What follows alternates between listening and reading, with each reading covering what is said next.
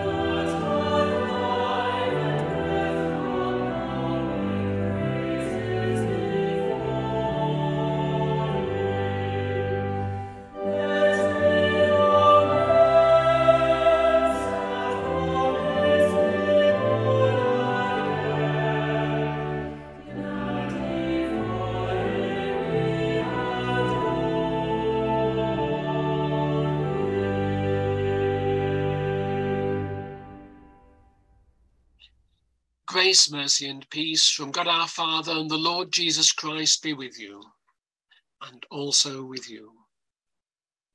Almighty God, to whom all hearts are open, all desires known, and from whom no secrets are hidden, cleanse the thoughts of our hearts by the inspiration of your Holy Spirit, that we may perfectly love you and worthily magnify your holy name.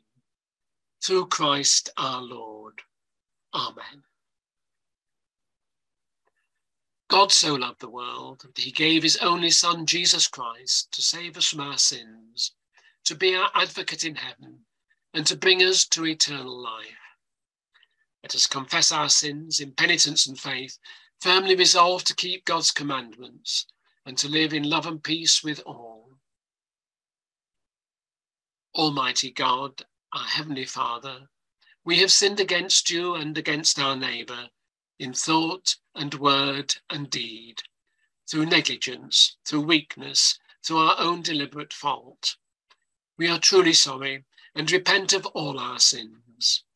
For the sake of your Son, Jesus Christ, who died for us, forgive us all that is past, and grant that we may serve you in newness of life, to the glory of your name.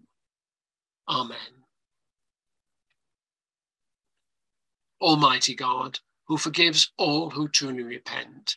Have mercy upon us, pardon and deliver us from all our sins, confirm and strengthen us in all goodness, and keep us in life eternal.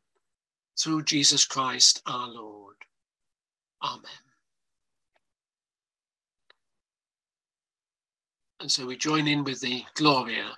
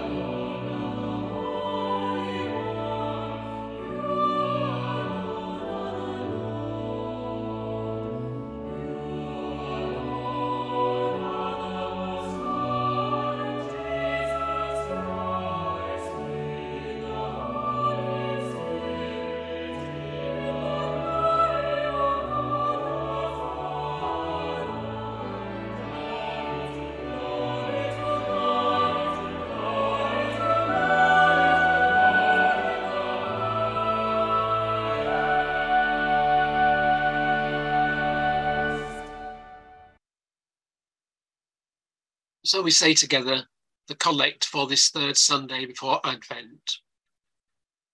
Almighty Father, whose will is to restore all things in your beloved Son, the King of all, govern the hearts and minds of those in authority, and bring the families of the nations, divided and torn apart by the ravages of sin, to be subject to his just and gentle rule, who is alive and reigns with you in the unity of the Holy Spirit, one God, now and forever. Amen. And so our first reading from Thessalonians. As to the coming of our Lord Jesus Christ and our being gathered together to him, we beg you, brothers and sisters, not to be quickly shaken in mind or alarmed, either by spirit or by word or by letter, as though from us, to the effect that the day of the Lord is already here. Let no one deceive you in any way, for that day will not come unless the rebellion comes first and the lawless one is revealed, the one destined for destruction.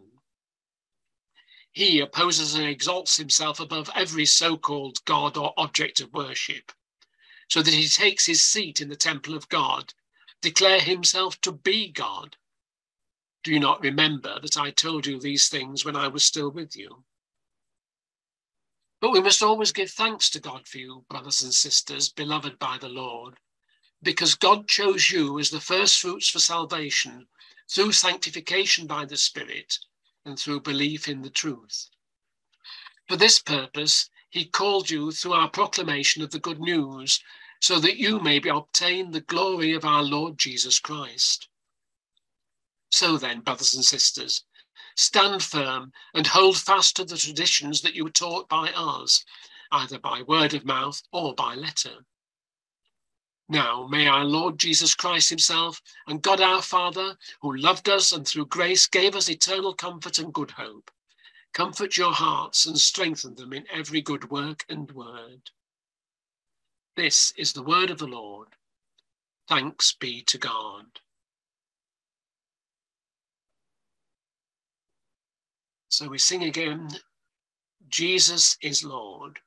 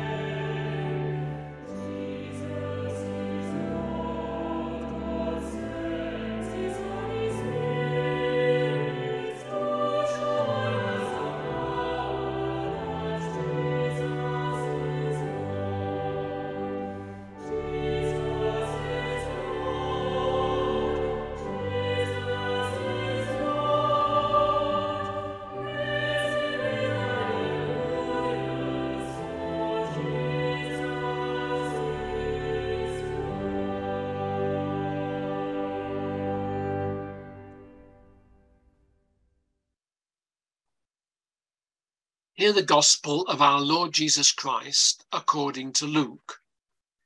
Glory to you, O Lord. Some Sadducees, those who say there is no resurrection, came to Jesus and asked him a question. Teacher, Moses wrote for us that if a man's brother dies, leaving a wife but no children, the man shall marry the widow and raise up children for his brother. Now there were seven brothers. The first married and died childless, then the second, and the third married her. And so, in the same way, all seven died childless. Finally, the woman also died. In the resurrection, therefore, whose wife will the woman be? For the seven had married her. Jesus said to them, Those who belong to this age marry and are given in marriage but those who are considered worthy of a place in that age and in the resurrection from the dead neither marry nor are given in marriage. Indeed, they cannot die anymore because they are like angels and are children of God, being children of the resurrection. And the fact that the dead are raised, Moses himself showed in the story about the bush, where he speaks of the Lord as the God of Abraham, the God of Isaac and the God of Jacob. Now he is God not of the dead, but of the living, for to him all of them are alive. This is the gospel of the Lord. Praise to you, O Christ. In the name of God, Father, Son, and Holy Ghost. Amen. And so we come to those four pictures, which in a moment will become comprehensible if they're not already.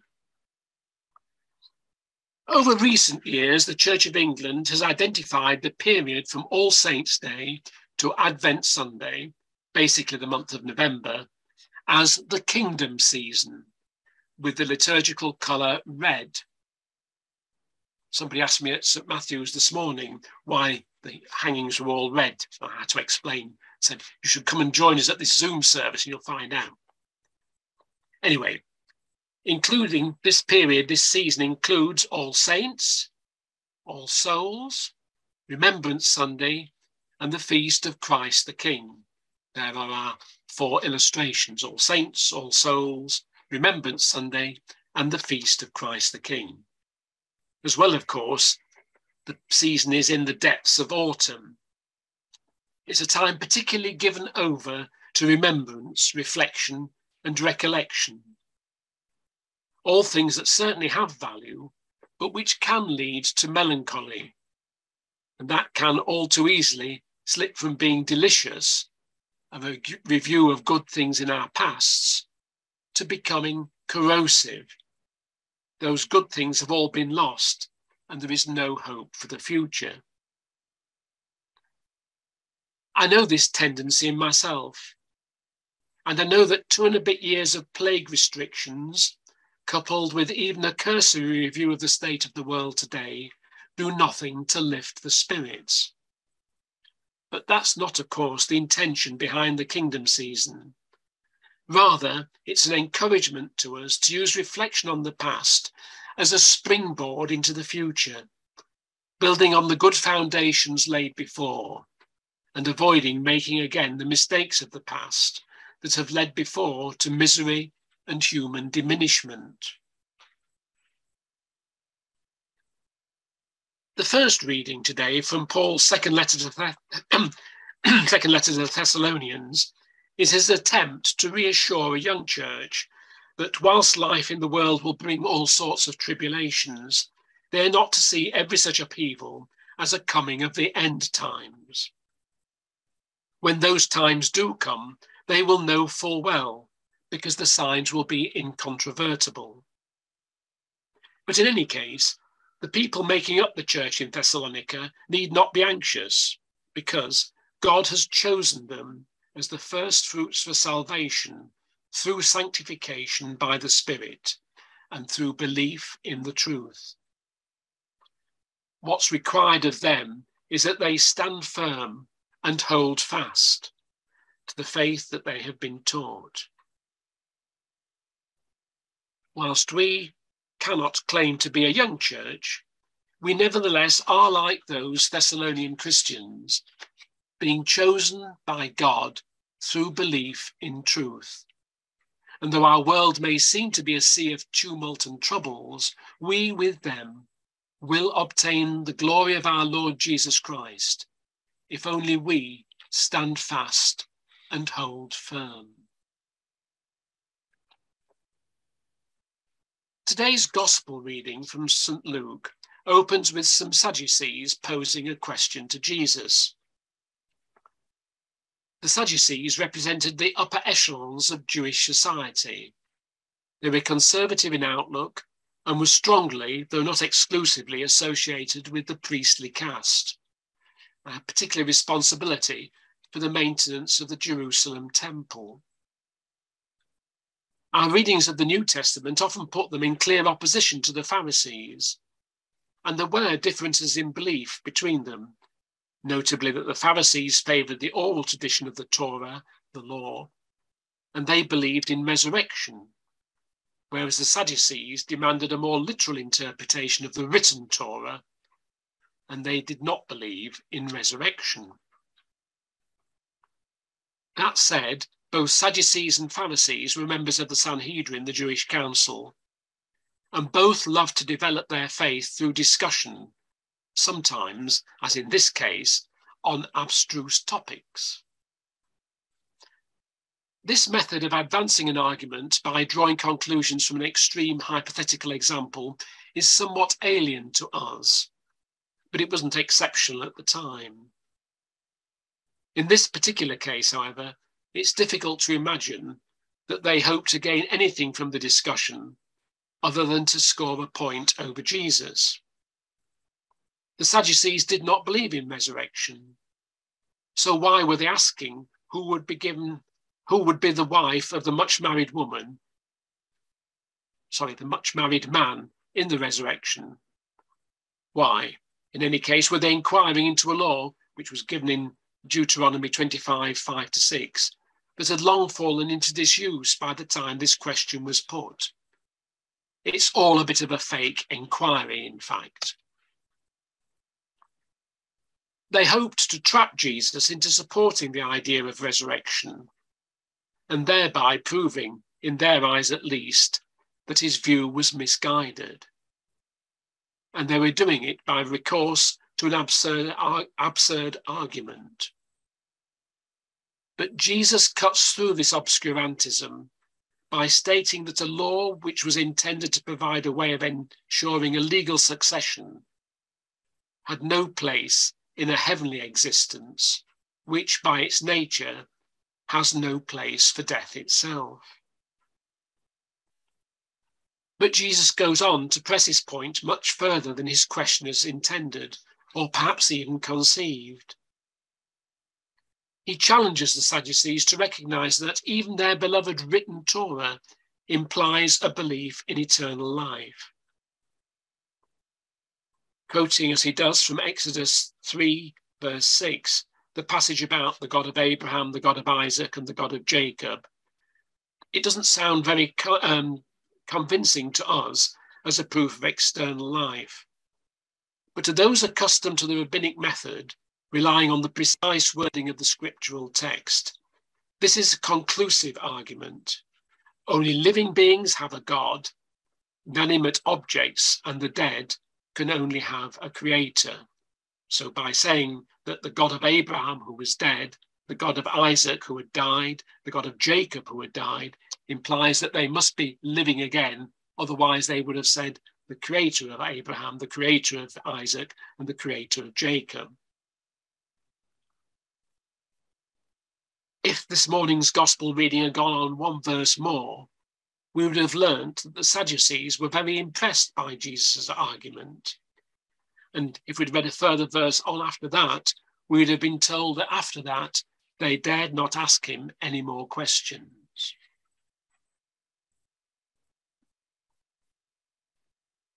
That's all very well, perhaps, as far as it goes.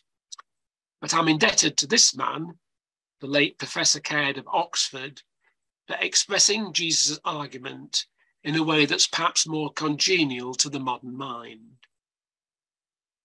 He says this All life, here and hereafter, consists in friendship with God, and nothing less is worthy of the name of life.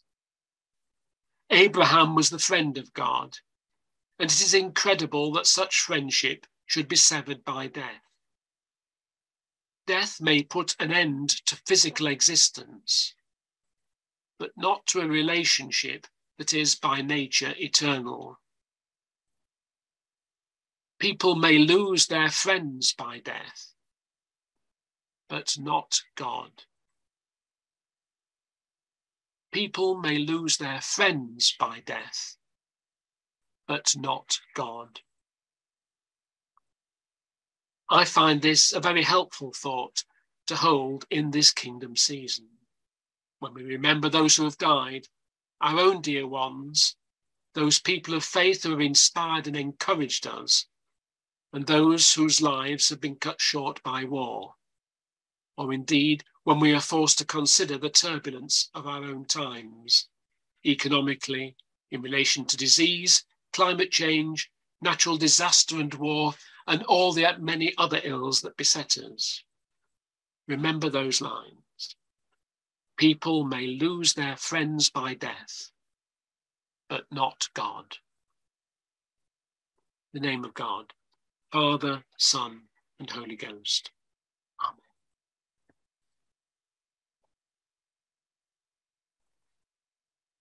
And so we affirm our faith in the words of the Nicene Creed. We believe in one God, the Father, the Almighty, maker of heaven and earth, of all that is seen and unseen. We believe in one Lord, Jesus Christ, the only Son of God, eternally begotten of the Father, God from God, light from light, true God from true God, begotten, not made, of one being with the Father, through him all things were made for us and for our salvation, he came down from heaven, was incarnate from the Holy Spirit and the Virgin Mary, and was made man. For our sake, he was crucified under Pontius Pilate. He suffered death and was buried. On the third day, he rose again in accordance with the scriptures. He ascended into heaven and is seated at the right hand of the Father. He will come again in glory to judge the living and the dead, and his kingdom will have no end. We believe in the Holy Spirit, the Lord, the giver of life, who proceeds from the Father and the Son, who with the Father and the Son is worshipped and glorified, who has spoken through the prophets. We believe in one holy Catholic and Apostolic Church. We acknowledge one baptism for the forgiveness of sins we look for the resurrection of the dead and the life of the world to come. Amen. And now we listen to the lovely anthem, Touch the Earth Lightly.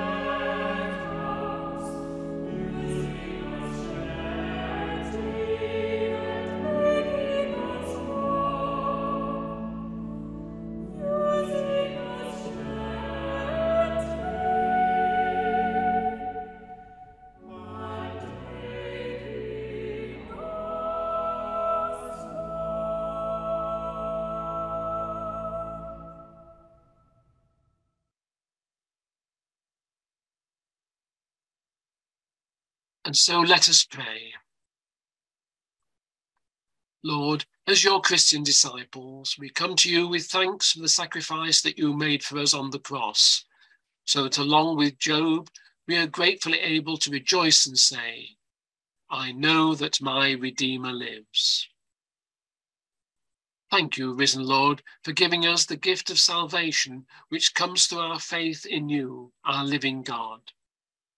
We are alive with you, and because of your great love for us, we will live forever with you. Lord, in your mercy, hear our prayer. Lord, we pray for our leaders, both at home and throughout the world. We ask that when they are under pressure and making difficult decisions, they are able to call upon you for your wisdom. Human greed and desire for economic gain can bring about repercussions and long standing consequences. We ask, therefore, that by your grace, all decision makers may come together in a way that can bring hope and light to our planet and world as the United Nations Climate Conference begins in Egypt, we pray especially today that our nations can act together and be good stewards of your creation, Lord. We pray that they can work towards repairing the damage that has been caused and look to bringing about a world on earth that can be filled with peace, justice, and righteousness. Lord, in your mercy, hear our prayer. Lord, we pray for our families, our friends, our neighbours, and the communities of our two churches, St Edmunds and St Matthew's.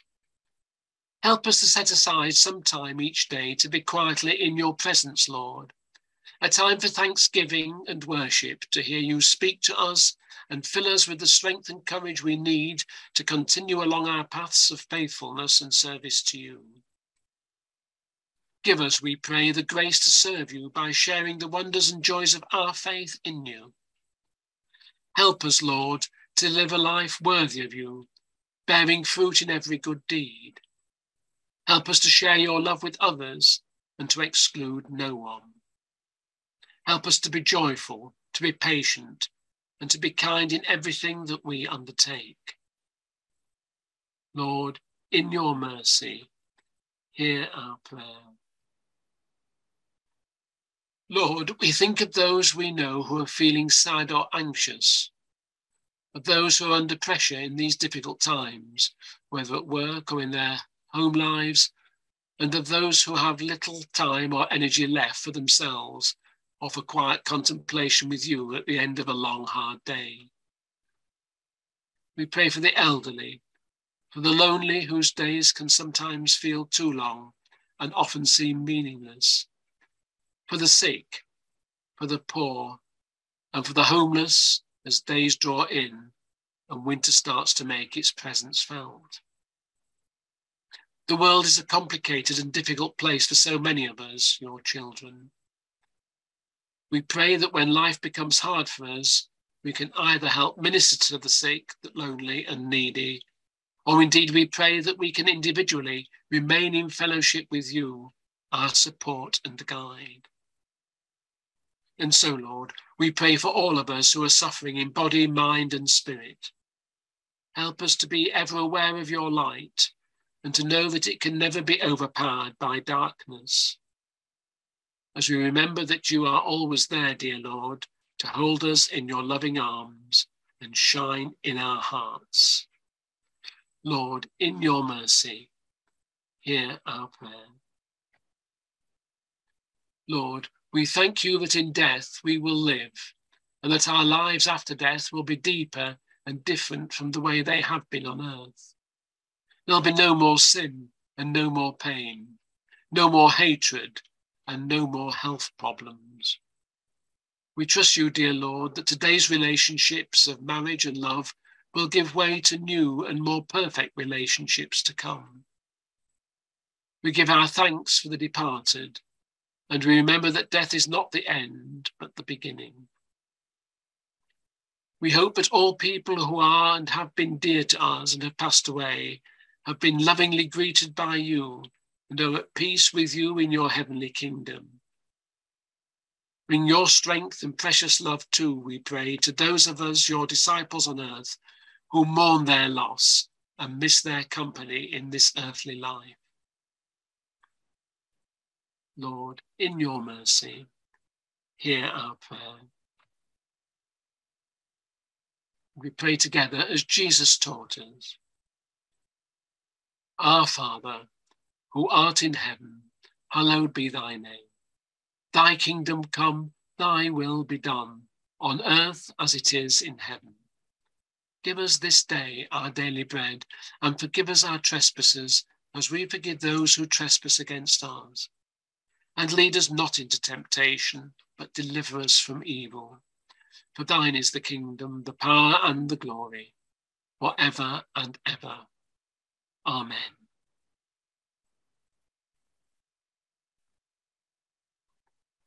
So we sing our final hymn, a hymn of going out into the world. Forth in the peace of Christ we go.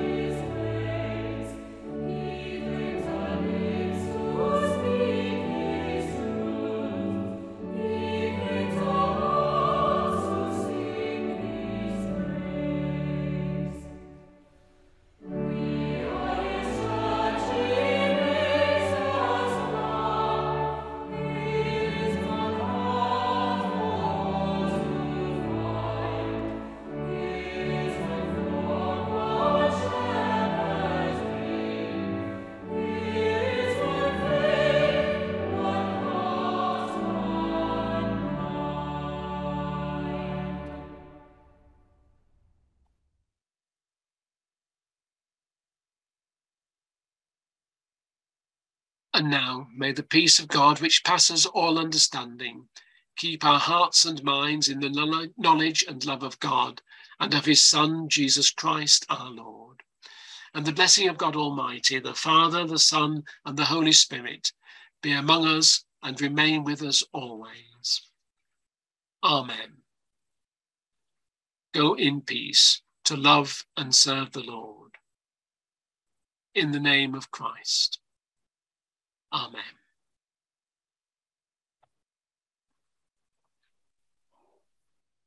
And so we come to our concluding voluntary. My thanks to uh, Matthew for being our engineer on this broadcast today. And thanks to all of you for joining in with us. And so let's hear the two-part invention.